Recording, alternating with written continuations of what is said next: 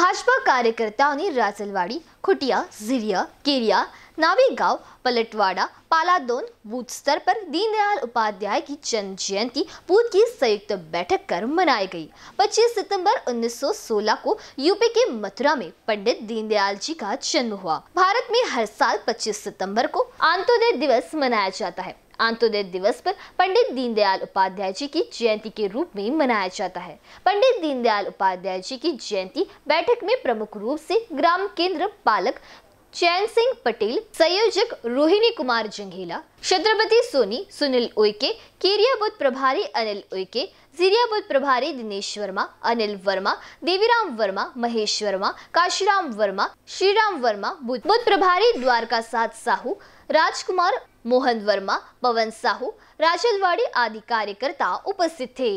BCN news के लिए चौराई से राजेश उइके की रिपोर्ट।